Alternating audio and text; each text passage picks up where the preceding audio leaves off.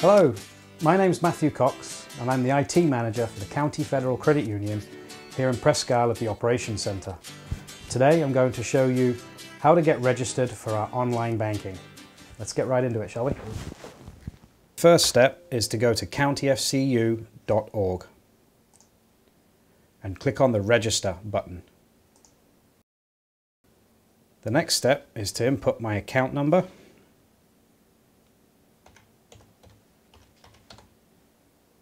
the last four of my social security number, and my date of birth. I'll type yes to accept our disclosures. Disclosures can be viewed by clicking on the link. On step two, I need to choose which method I would like to have my one-time passcode delivered. From the drop-down menu, I can choose a cell phone number to which a text message or SMS alert will be sent, or a landline or work phone that you can receive a voice call from. Alternatively, you can still choose the email address.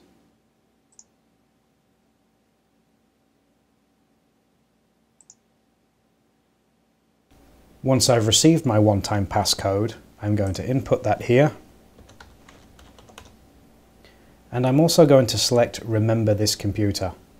That is because this is a trusted device, it is my own personal computer and I'm going to be logging in from this device frequently. Confirm passcode to continue. On step 3 I'm going to choose a username and password.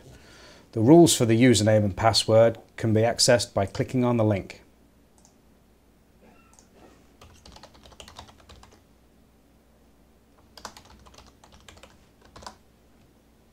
I'm going to confirm the password and type my email confirming what we have on file.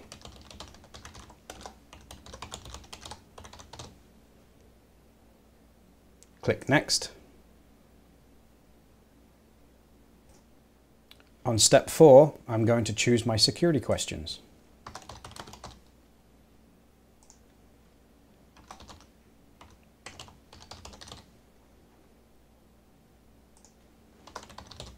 And click Next.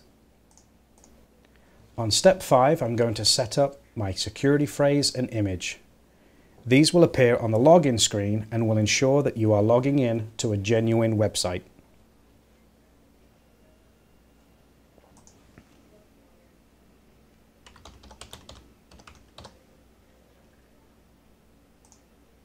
And click Next to get to the next step.